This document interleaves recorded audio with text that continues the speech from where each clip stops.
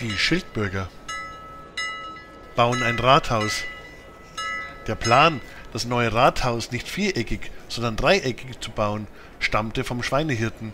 Er hatte, wie schon gesagt, den schiefen Turm von Pisa erbaut, der mittlerweile eine Sehenswürdigkeit geworden war, und er erklärte stolz, ein dreieckiges Rathaus ist noch viel sehenswerter als ein schiefer Turm. Deshalb wird Schilder noch viel berühmter werden als Pisa hörten das mit großem Behagen. Denn auch die Dummen werden gerne berühmt. Das war im Mittelalter nicht anders als heute. So gingen also die Schildbürger schon am nächsten Tage morgens um sieben an die Arbeit, und sechs Wochen später hatten sie die drei Mauern aufgebaut. In der dem Marktplatz zugekehrten Breitseite war ein großes Tor ausgespart worden, und es fehlte nur noch das Dach. Nun auch das Dach kam bald zustande und am Sonntag darauf fand die feierliche Einweihung des neuen Rathauses statt. Einwohner erschienen in ihren Sonntagskleidern und begaben sich mit dem Schweinehirten an der Spitze in das weiß gekalkte dreieckige Gebäude. Doch sie waren noch nicht an der Treppe, da purzelten sie auch schon durcheinander, stolperten über fremde Füße, traten irgendwem auf die Hand, stießen mit den Köpfen zusammen und schimpften wie die Rohrspatzen. Die drin waren, wollten wieder heraus, die draußen standen, wollten unbedingt hinein. Es gab ein fürchterliches Gedränge. Endlich landeten sie alle, wenn auch zerschunden und mit Bäuen und blauen Flecken, wieder im Freien, blickten einander ratlos an und fragten aufgeregt, was war denn eigentlich los? Da kratzte sich der Schuster hinter den Ohren und sagte, in unserem Rathaus ist es finster. Stimmt, riefen die anderen.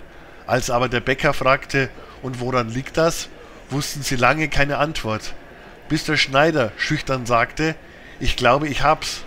Nun, in unserem neuen Rathaus, fuhr der Schneider bedächtig fort, ist kein Licht.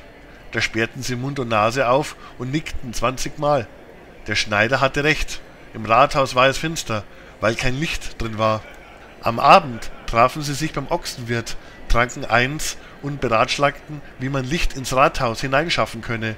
Es wurden eine ganze Reihe Vorschläge gemacht, doch sie gefielen ihnen nicht besonders. Erst nach dem fünften Glas Braunbier fiel dem Hufschmied das Richtige ein. Das Licht ist ein Element wie das Wasser, sagte er nachdenklich. Und da man das Wasser in Eimern ins Haus trägt, sollten wir's mit dem Licht genauso machen.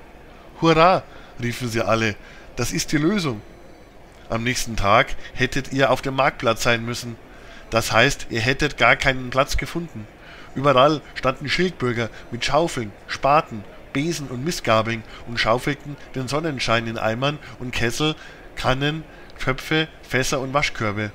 Andere hielten große, leere Kartoffelsäcke ins Sonnenlicht, banden dann die Säcke geschwind mit Stricken zu und schleppten sie ins Rathaus.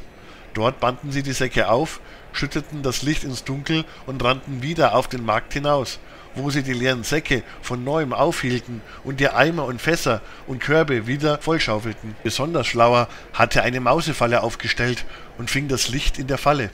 So trieben sie es bis zum Sonnenuntergang. Dann wischten sie sich den Schweiß von der Stirn und traten gespannt durch das Rathaustor. Sie hielten den Atem an, sie sperrten die Augen auf.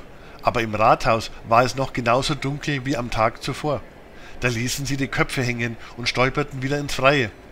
Wie sie so auf dem Markt herumstanden, kam ein Landstreicher des Wegs und fragte, wo es denn fehle. Sie erzählten ihm ihr Missgeschick und dass sie nicht ein noch auswüssten.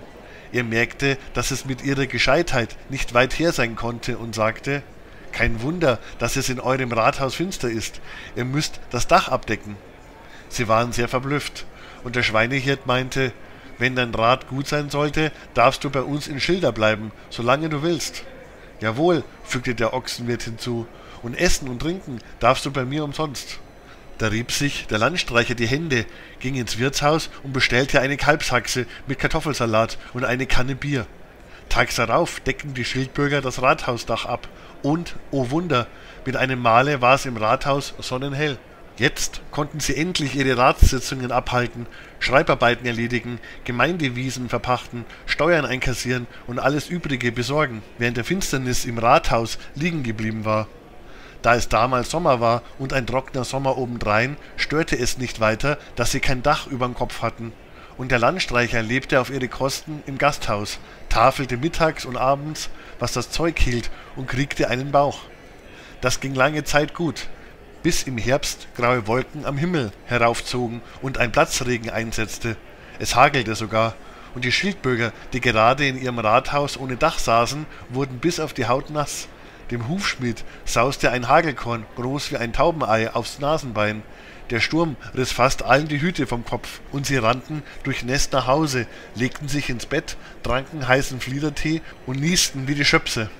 Als sie am nächsten Morgen mit warmen Tüchern um den Hals und mit roten, geschwollenen Nasen zum Ochsenwirt kamen, um den Landstreicher zu fragen, was sie tun sollten, war er verschwunden.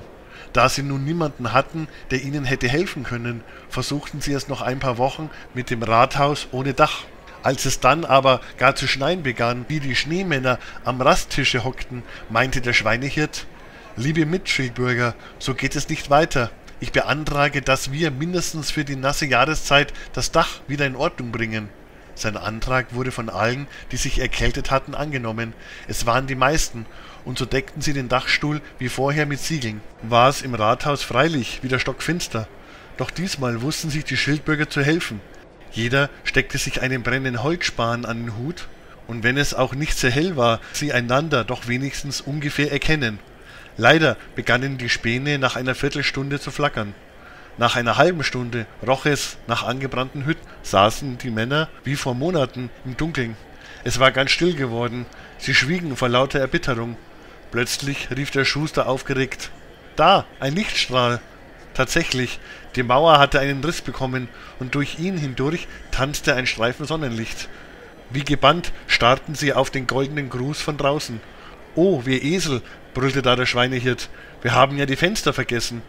Dabei sprang er auf, fiel im Dunkeln über die Beine des Schmieds und schlug sich an der Tischkante drei Zähne aus.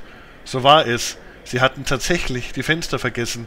Sie stürzten nach Hause, holten Spitzhacken, Winkelmaß und Wasserwaage, und noch am Abend waren die ersten Fenster fix und fertig.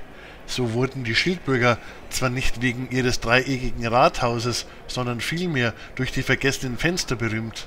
Es dauerte nicht lange, so kamen auch schon die ersten Reisenden nach Schilda, bestaunten die Einwohner, übernachteten und ließen überhaupt ein gutes Stück Geld in der Stadt. Seht ihr, sagte der Ochsenwirt zu seinen Freunden, als wir gescheit waren, mussten wir das Geld in der Fremde verdienen. Jetzt, da wir dumm geworden sind, bringt man's uns ins Haus.